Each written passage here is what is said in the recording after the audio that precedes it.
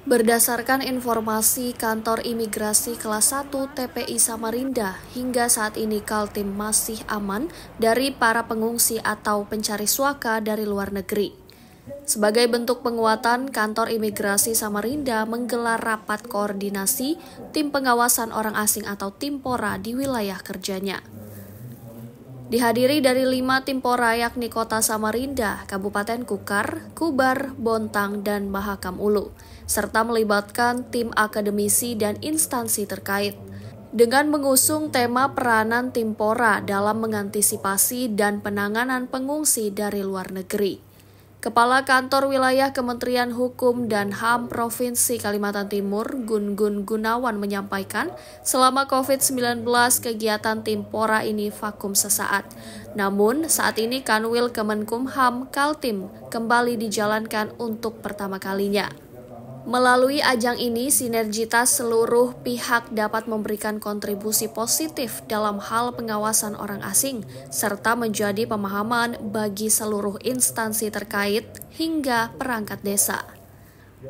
Hal serupa diutarakan Kepala Kantor Imigrasi Washington South Dompak sekaligus menegaskan para pengungsi atau pencari suaka hanya dapat tinggal di Indonesia selama 10 tahun setelah memiliki kartu pengungsi. Selama COVID kita vakum tentang kegiatan Timpora. Ada kebijakan nasional. Dan ini tahun ini kita ini paling duluan nih di di Kaltim mengadakan ini. Terima kasih Pak Kani Samarinda. Mudah-mudahan dengan mulainya lagi uh, kegiatan Timpora ini sinergitas walaupun orangnya sudah pada baru kembali kan ada yang tadi dari semua stakeholder terkait sampai ke aparat desa mudah-mudahan ini bisa bermanfaat positif bagi uh, Kalimantan Timur khususnya di wilayah uh, kerja Kanim Samarinda.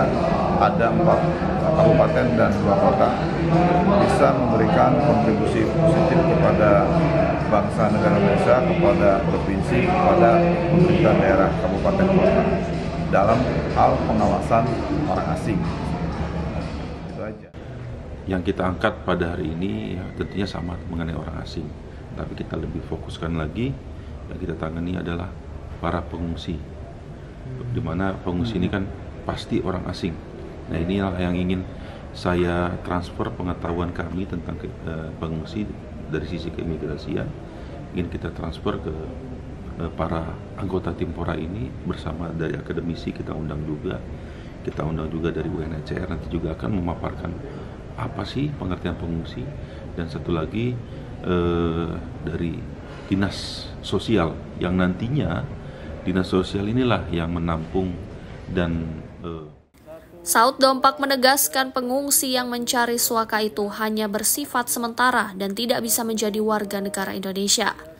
Pradika Danang, Jasmine Jafar, Kompas TV Samarinda, Kalimantan Timur.